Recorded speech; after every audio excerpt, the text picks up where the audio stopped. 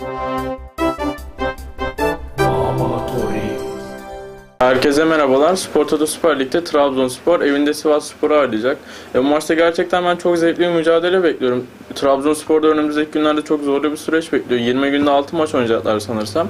Ve bu maçta da başlangıç oluyor. E, Roberto Carlos'un Sivas'ta yeni yeni kendine gelmeye başladı ve gerçekten iyi top oynuyorlar. Özellikle son maçlarını izlediğimde gerçekten etkili kanat takımları var. E, Trabzonspor'da hızlı top oynamayı seven bir takım ve bu maçta ben bol golün olacağını düşünüyorum. O yüzden takipçilerimize 4-6 gol veya üst seçeneğini öneriyorum. E maç sonu başında ise e, bir ilk yarı beraberliği 1-1 gibi skor olabilir ama e, yine Bank Hoca'nın karşılıklı gol var. Üst veya e, 4-6 gol gibi bahisleri seçmesini tercih ederim. Bahis yapacak herkese bol şans diliyorum.